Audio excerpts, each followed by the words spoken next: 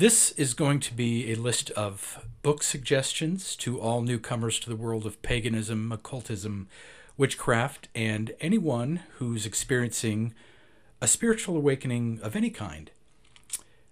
I remember how much I suddenly craved when I had the beginnings of mine, since that's still going on. When we awaken, we don't just have a moment of arriving somewhere and then that's it, we're done. No, it goes on. And that's the best part. So these suggestions are for you. This video is dedicated to the incomparable Ms. Jessie Weston, who published a book 100 years prior to the filming of this video that you're now watching. Her book, From Ritual to Romance, went on to become a standard of its subject beyond her own years, and you'll find out a lot about that. We're going to get into that one. So, as I speak, I'm going to cut away to the particular book I'm talking about and show you the covers and perhaps some introductory pages too, or varying editions, etc., depending how much there is to see for each beyond text. Okay, let's begin. The Underground Stream by Christine Payne Towler.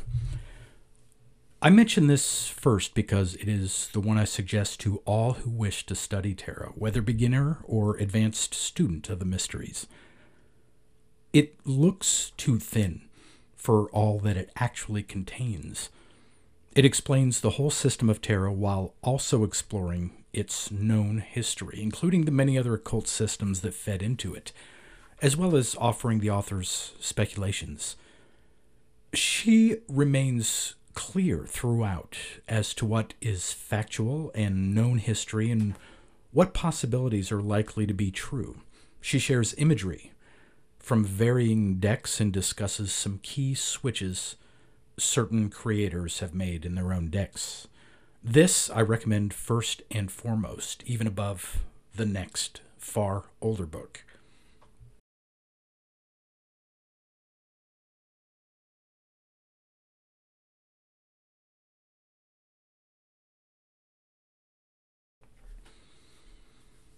The Book of Thoth by Aleister Crowley.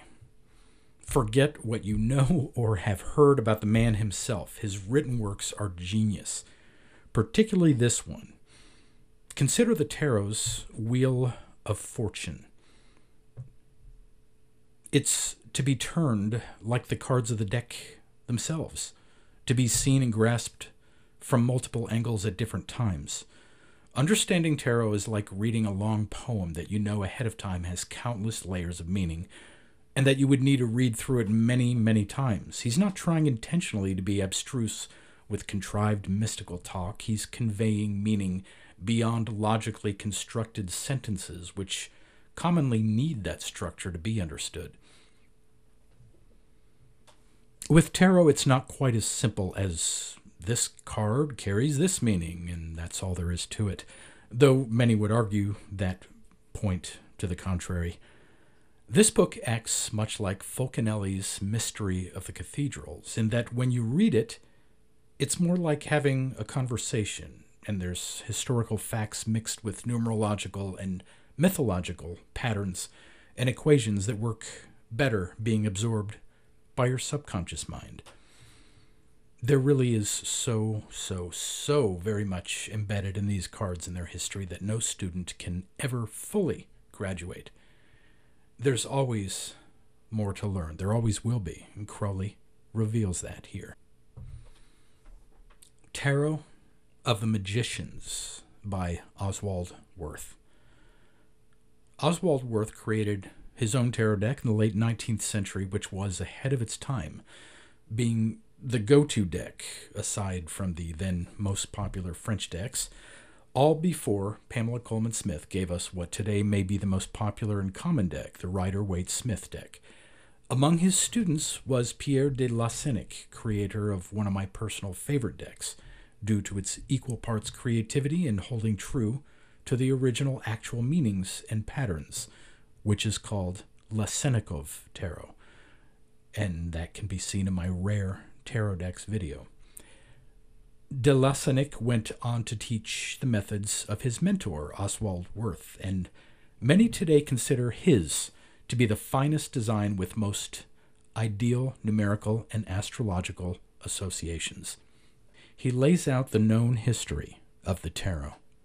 You're going to find disagreement wherever you go about this subject, so the best thing to do is go to the oldest, follow their evolution through time and place, then look back and see how you feel about what needs to remain traditional and what else needs changing or adapting as more knowledge is gained collectively. By the way, I suggest his tarot deck as well, though you do not need one to follow what he's doing in his book. The books related to uh, both history and mythology that we're about to cover, most of these include highlights on history that been covered up by either the church or other political powers. A History of Pagan Europe by Prudence Jones and Nigel Pennick. First published 1995. Folks, the title says it all. Just keep in mind that so many churches throughout Europe and Asia Minor are built over ancient sacred sites when beginning to read this book. It is perhaps a perfect starting point for discovering the traditions of scattered European cultures before and during all the church mandated conversions and murder. This is the perfect way to set some groundwork for yourself in your in your studies about history related to magic and witchcraft. The Serpent and the Goddess by Mary Condren, first published in 1989. This is a wonderful starting point for anyone wanting to see how Celtic tradition was subsumed into Christianity and ancient goddesses and historical women were given a makeover to become Catholic saints. It's that simple. And I love that her thesis remains that simple and tight throughout. The Secret Teachings of All Ages by Manly Palmer Hall. This is also a wonderful starting point for those looking to piece together history's puzzle and seeing astrotheology at the heart of all major religions. This gets highest of recommendations, being from a man who had a lifelong obsession with history and mythology and understood the great mysteries and gave free talks to anyone who would come and hear, much like Alan Watts, who we'll get to later. The Mystical Kabbalah by Dion Fortune. This requires some serious focus to understand the relationship between tarot, the human chakra system, and the Tree of Knowledge with their 10 spheres of influence. Her two novels, I'm going to throw into the mix here too The Sea Priestess and Moon Magic, are relatively much lighter reading relatively. The author has stated that she is initiating the reader into the sacred mysteries through these stories. If you choose to start your reading material relative to newly arriving into paganism, occultism, witchcraft, or just an unnamed and unnameable spiritual awakening with novels that tell stories rather than information collections, please start here with The Sea Priestess and then Moon Magic. By writing these books, Ms. Fortune is enacting the rites of the priestess, and you, dear reader, are that of the initiate. The Druids by Peter Beresford Ellis.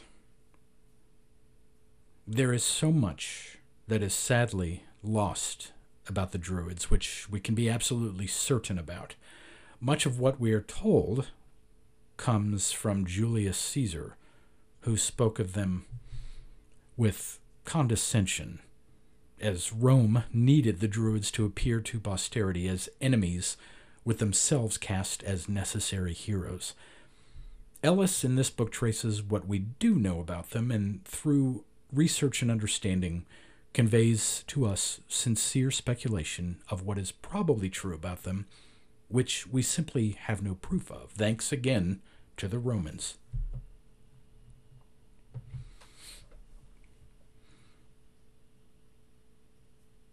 From Ritual to Romance by Jessie Weston.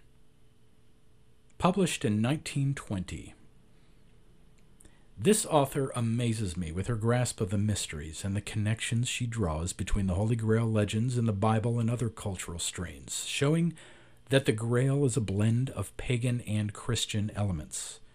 You, my viewers, know the broad spectrum of subjects I cover on my channel, and that I take a syncretic approach to their study, where we look at them all together. That's what this woman did exactly 100 years ago with this book, obviously long before the internet. Now, I say that she's missing some crucial elements to the whole vast story, but that's nothing to hold against her. She was writing at a time when very often authors wrote with a Christian perspective, even if they did not intend to. But for what she does have available to her at the time, she pulls together quite naturally many elements that were forced apart, let's say, by the powers that be. And she certainly paved the way for future research and broke new ground, all of which occurred at a time when that was extremely rare for a woman to achieve, which is why this video is dedicated to her. Just as a side note, T.S. Eliot wrote an epic poem inspired by Ms. Weston's book. You can also see it briefly in the movie Apocalypse Now beside Marlon Brando. It is truly a landmark of anthropological and mythological scholarship. The Golden Bough by James George Frazer. Published in 1890. This is considered a classic all over the world. It's a really big book, I suggest finding the unabridged version. Very simply, its intention is to convey the spirit of every known culture in the world. That is, part anthropology with descriptions of spiritual traditions and cultural activities, and part mythology, telling the myths that each respective culture tells each other. This book set the standard for many others, including Jessie Weston being among her inspirations for the last book we just covered. The Hero with a Thousand Faces by Joseph Campbell.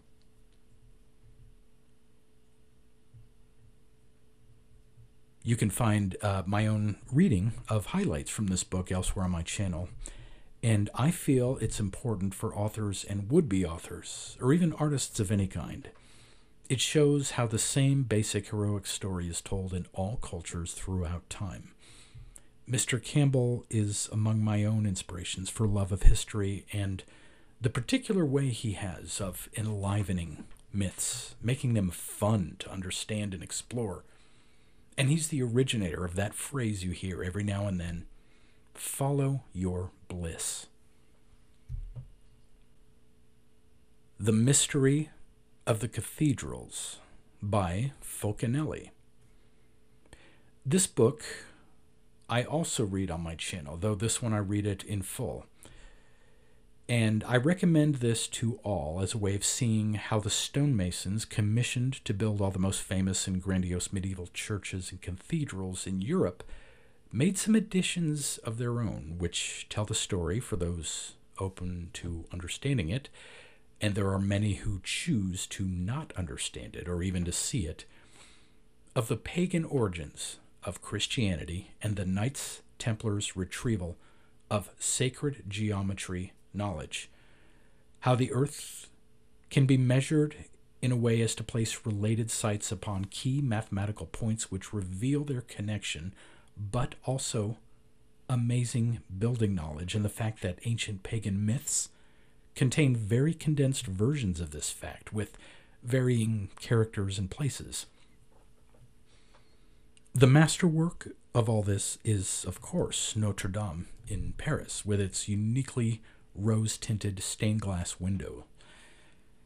Again, syncretism is the key word, and I suggest this to everyone.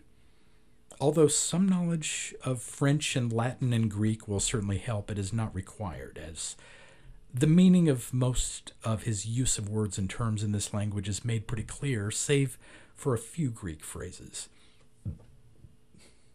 This book about mysteries is itself a mystery. The author disappeared shortly after completion. Initiation into Hermetics by Franz Bardon. This is a perfect summary of what I feel should be at the heart of entry and intention into magic and witchcraft and occult study, rather than my boyfriend cheated on me and I want to make him pay, so any of y'all got good spells to use? This kind of thing is a faulty foundation, to say the least, and leads to as much danger for yourself as anyone else. As the ancient axiom states, know thyself. When you think on what you seek to achieve, consider it as if already done, and you're looking back on it many years from now. Are you able to step outside of the timely emotional current that swept you up and see the situation from a broader perspective? Or is it a matter of revenge, where you seek to inflict pain or some other negatively energized action upon someone? Think it through and be thoroughly honest with yourself about the situation and the psychological or spiritual or karmic repercussions that come with all of this. If that was indeed all there was to it, why not instead work to heal yourself and to heal any potential dark energies that have taken hold of someone, if, again, that is indeed the case? My point is that great care must be taken in this work, not just casual impatience seeking revenge or ego based decision making. To illustrate this point, let me read you the first paragraph of the introduction. Quote Anyone who should believe to find in this work nothing else but a collection of recipes with the aid of which he can easily and without any effort attain to honor and glory, riches and power, and aim at the annihilation of his enemies, might be told from the very inception that he will put aside this book being very disappointed. End quote. Now we'll move on to more advanced studies of comparative mythology and history for those who already have a basic understanding of both subjects and their relationship, but in which far more is explored and at a perhaps faster pace, in a way that presumes you already are extremely well read. So, the following books I want to suggest to all newcomers to pagan and occult studies and those who are able to break away from the firm grasp of major religions, but which I must acknowledge may be at least a bit intimidating, or indeed too much all at once. And again, for newcomers to this kind of information, or perhaps someone who's simply very young and has not yet had the time to absorb all of the information the following books convey. Saturnalia by Macrobius. This is an ancient Roman work written as a dialogue which serves to give us today the understanding of the feast and celebration of Saturnalia and all it entails. Like a window into the Mediterranean past, wherein we can get a series of discussions about history and mythology and what was antiquity to them in the late 4th century. Extremely heavy subject matter, but as I said, a window into how such stuff was discussed at the time and worth owning as a now collectible classic, anyway.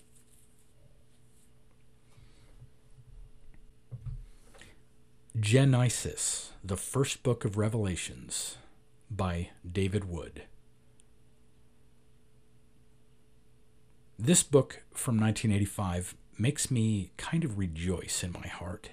First of all, that it exists at all. Secondly, that I managed to get a copy of it. It's increasingly rare, so track down a copy if, where, when, and how you can. I'm sure almost everyone watching this video is familiar, even if just passingly, with what I call terrestrial tattoos that is, using geometry to put patterns of sacred sites in place through time.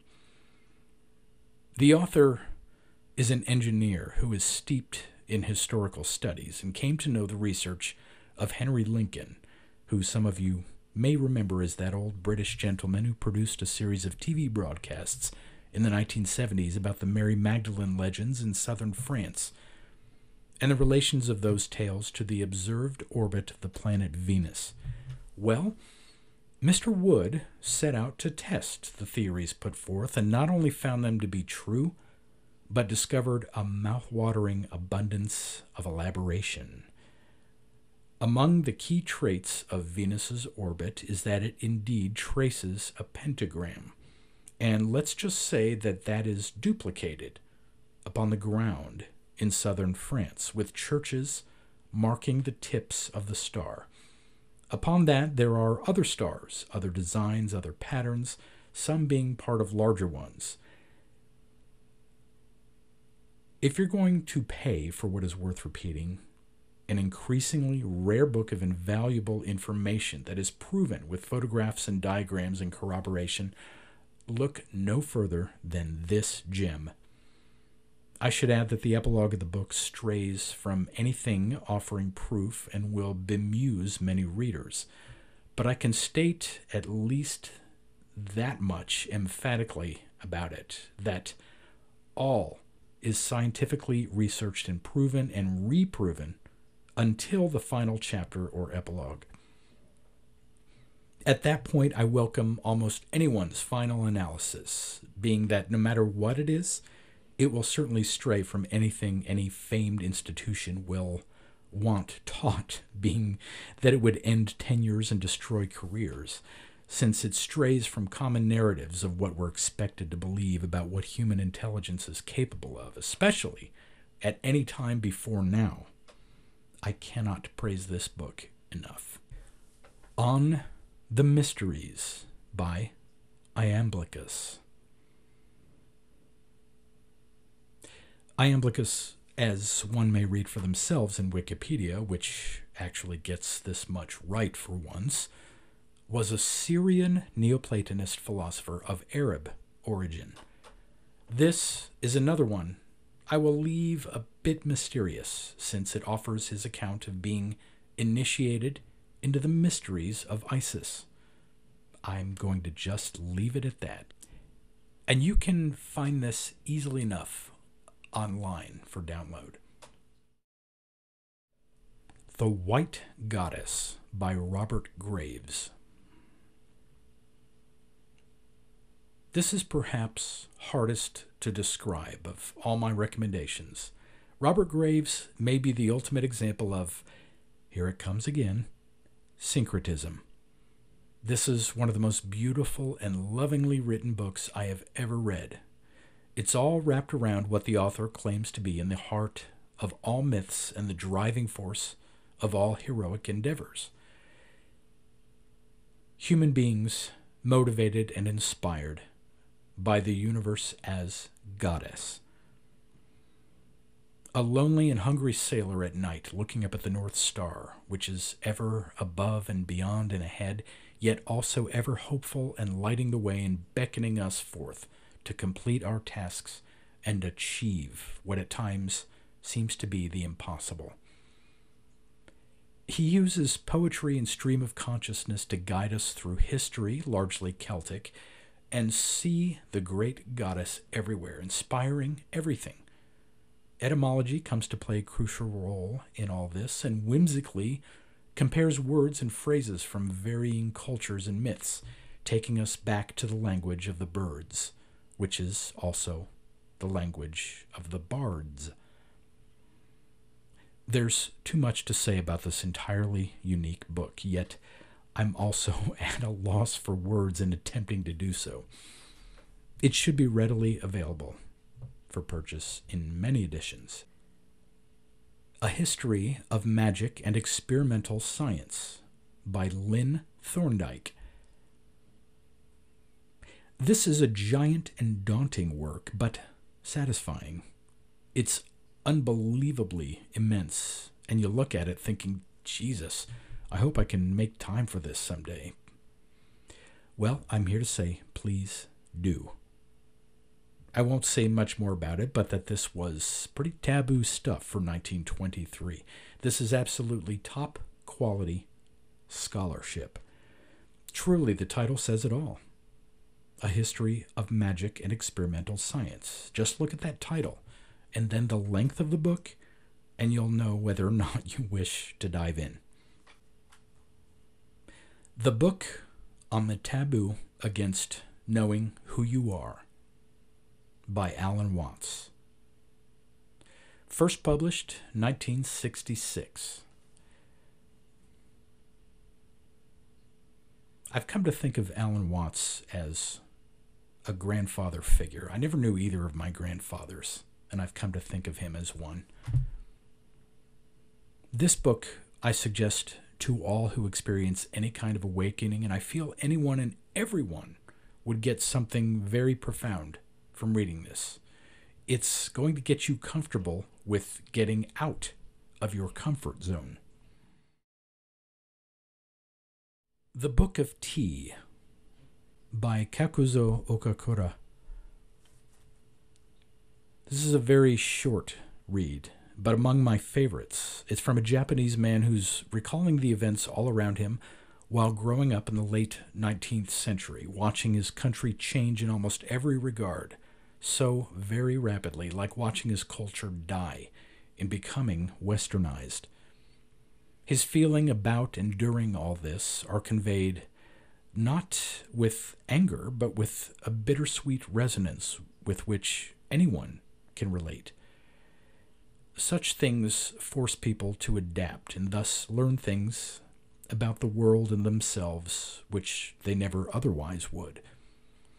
It's something I think newcomers to paganism and occultism and any awakening experiences of any kind can relate to.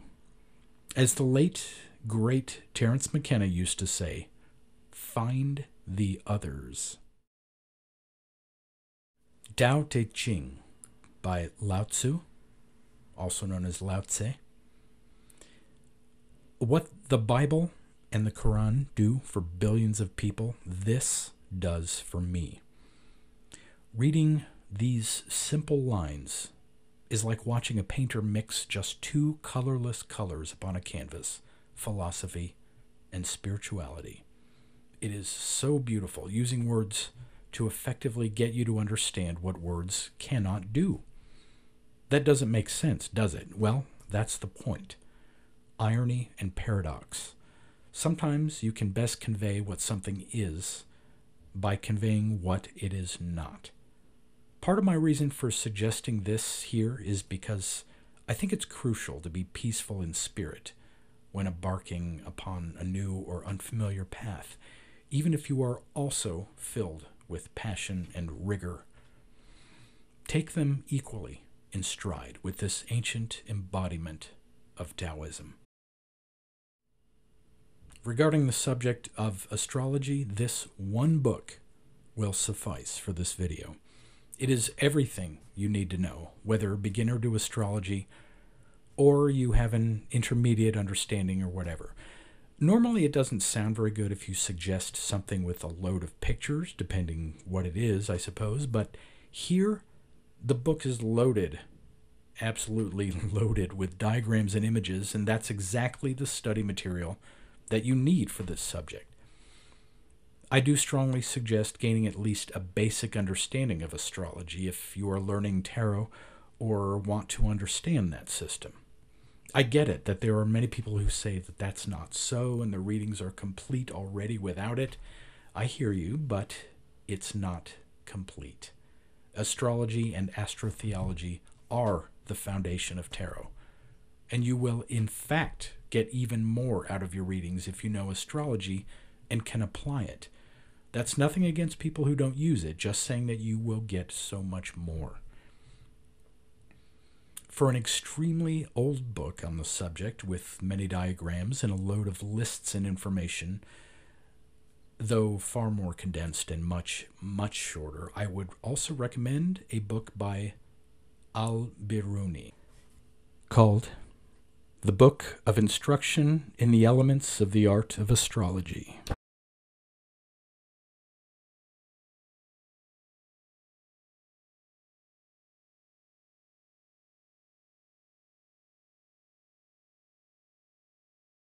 Now, there are several authors who have written multiple works, which I'd like to suggest to you. So in this case, I'm going to leave you with the author's names, and you can look up, I think, with perhaps all of these, if not most of them, you can find some works online, some complete works.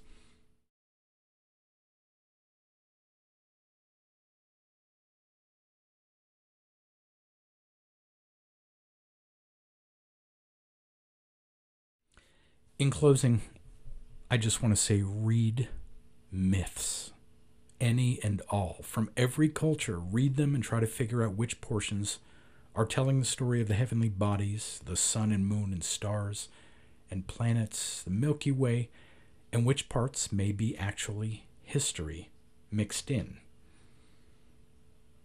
Perhaps a good romantic spirit to accompany you when so doing is to remember that it was long believed that the legendary city of Troy from Greek mythology was nothing more than just that a legend.